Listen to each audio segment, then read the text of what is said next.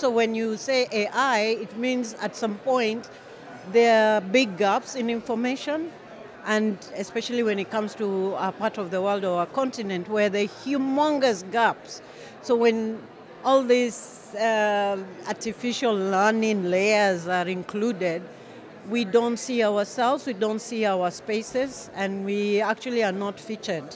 And it doesn't respond to us. It is more driven by the data that's been collected, a lot of it, obviously, which is not from us, it's from other people.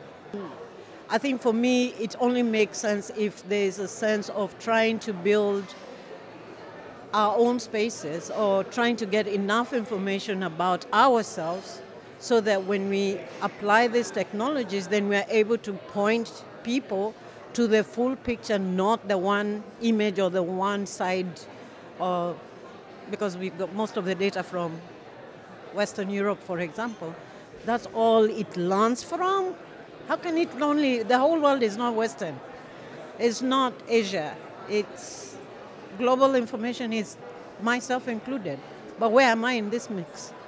Helping us to build the structures and the institutions that can help us build up this kind of data on which you can apply the technology so that then we're not using hypotheses or we actually have the evidence and then we can make informed decisions based on that. So for me, media development, come and work with me to develop a solution to a problem which you say exists, but I'll tell you it exists, but from this perspective. Because my problem is I know where my shoe pinches.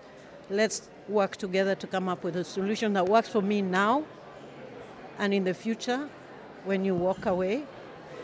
Because you will eventually walk away, something that I can be left with to manage, to run, to continue using, to continue growing.